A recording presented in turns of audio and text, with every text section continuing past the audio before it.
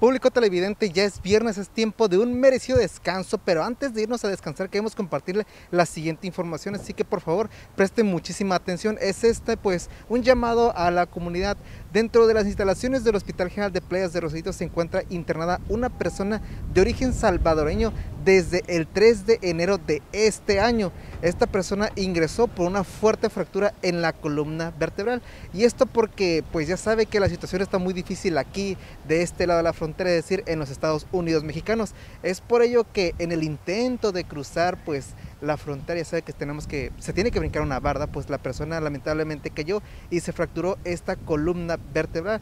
Para que esta persona pueda ser dada de alta se necesita un arnés muy específico, es un arnés ortopédico tipo Jewi.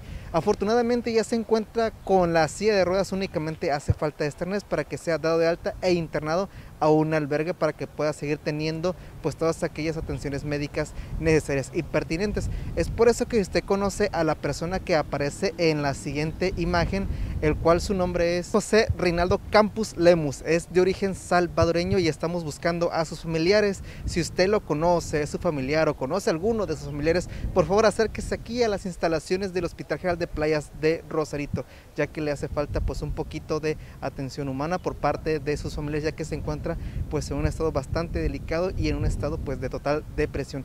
Es por eso que les solicitamos comparta esta fotografía para que llegue a más personas y podamos dar con el paradero de amigos o familiares del mismo. Informó para CNR Noticias Luis González.